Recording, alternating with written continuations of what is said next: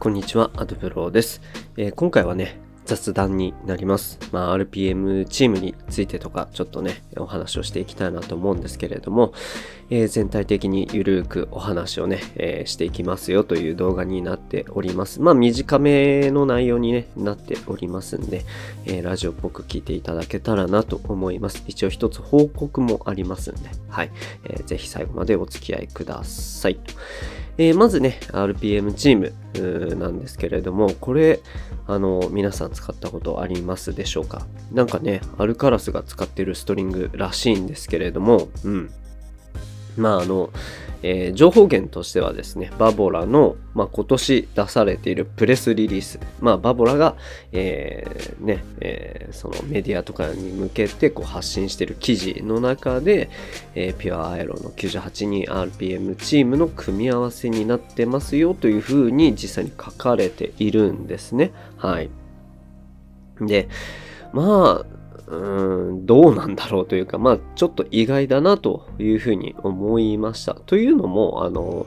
えー、2023年、まあ、昨年までのプレスリリース見るとですね、あの、当時は RPM ブラストっていうふうに書かれてはいたんですね。で、それが今年の、まあ、ウィンブルドンであったりとか、まあ、その、グランドスラム優勝して、えー、それでプレスリリースが出て、で、その中に書かれてるのが RPM チームに変わっていたんですね。で、やっぱりそのブラストの方が、まあなんか、ナダルが使ってるっていうこともありますし、ね、あるからさ、あれだけ打つじゃないですか。だもんでなんかこう、合う、合いそうだよねというか、なんかそっちの方がなんとなくこう、イメージに合うとか、まあなんかちょっと説得力あるなと。うん、で、逆に RPM チームってわりかしこう、ね、もう少し優しいストリングなイメージもあるし、形状も多分違うはずなんで、で、そっちなんだというような感じなんですけれども、うん。まあ正直どっちも黒なんで、あの、商業的にその、アルカラス、まあ世界一が RPM チーム使ってますよっていうふうに言われても、まあ判別できないよなと 思いますんで、はい。まあなんかちょっとどうなんだろうな。まあでも、言うてわざわざ嘘をつく必要もないとも思うんですよね。バボラわりかしこう、えー、選手のスペックをね、プレスリリースで過去をこう出してたりして、えー、わりかしオープンというか、まあそんなにこう、あえて嘘をつくということもないんじゃないかなと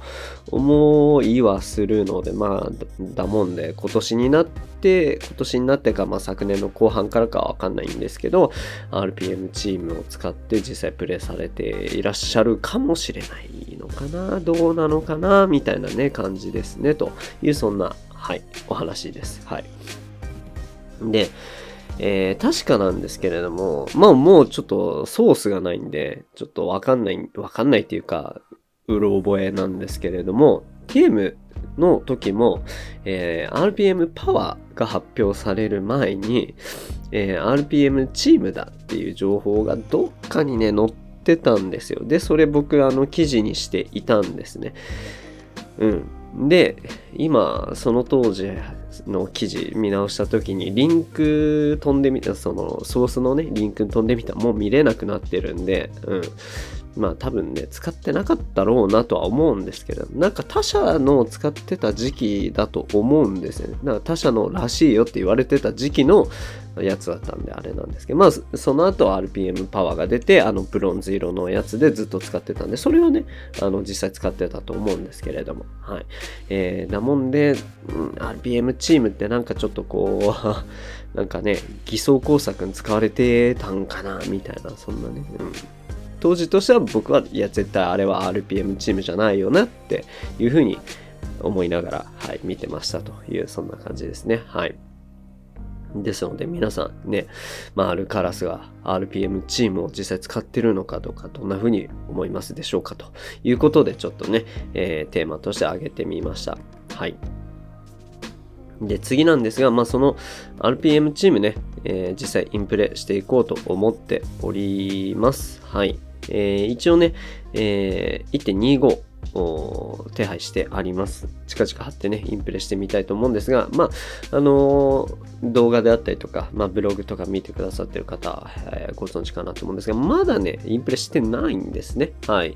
で、バボラの中の RPM シリーズといえば、まあ、ブラストが筆頭になって、まあ、あとはラフがあったりとかっていうんですけど、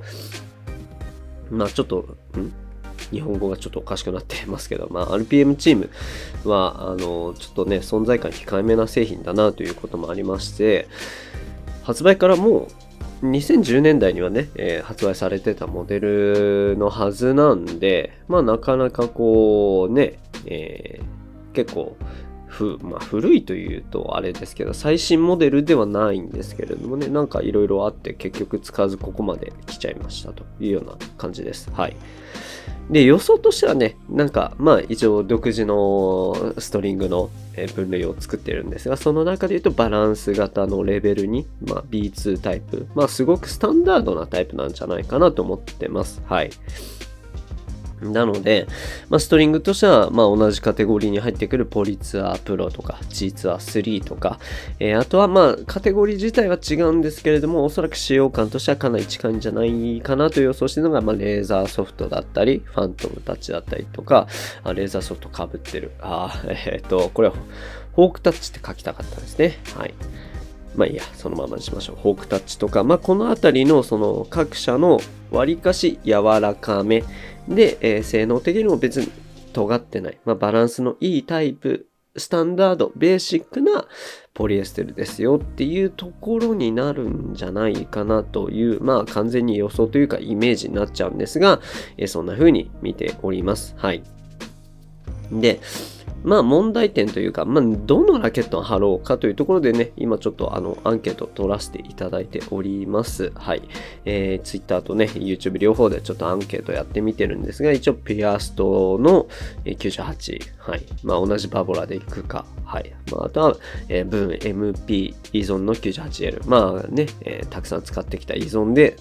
うん、改めて試すか。はであとは、まあ、TF40 か、えーまあ、ここら辺までが、まあ、一応ね、えー、なんとなく最近使ってるものなんですけれども、それ以外だと、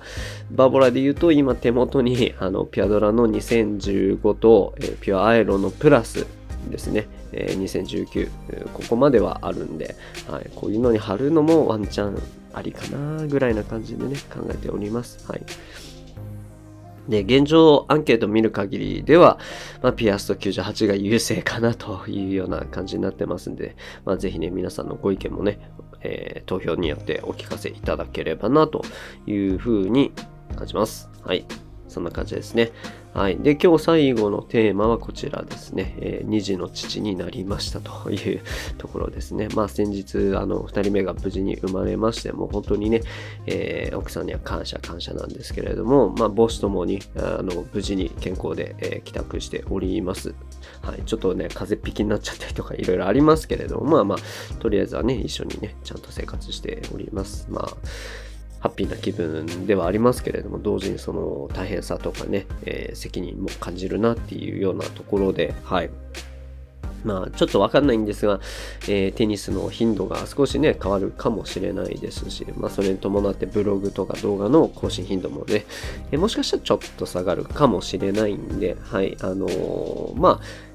言うてもね、あの、全く更新しないとかじゃないので、はい、今後もね、ゆるくお付き合いいただけたらなと思いますし、チャンネル登録と、えー、通知設定しといておけると、えー、噛みました えー、通知設定をしといていただけると見逃さないで済むのかなと思いますので、よろしければね、えー、通知設定オンにしていただければなと思います。まあ、あとはそうですね、えー、お祝いということでね、スパチャのご祝儀も待ってますんで、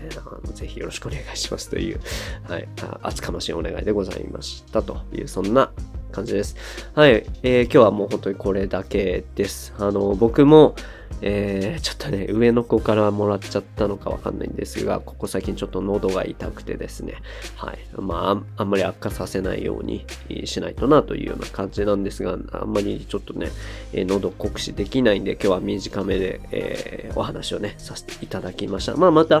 えー、ピアストとかね、改めていろいろインプレしなきゃいけないものも溜まってますんで、はい。楽しみに、あの、動画更新をね、えお待ちいただければなと思います。最後までお付き合いいただきありがとうございました。それでは。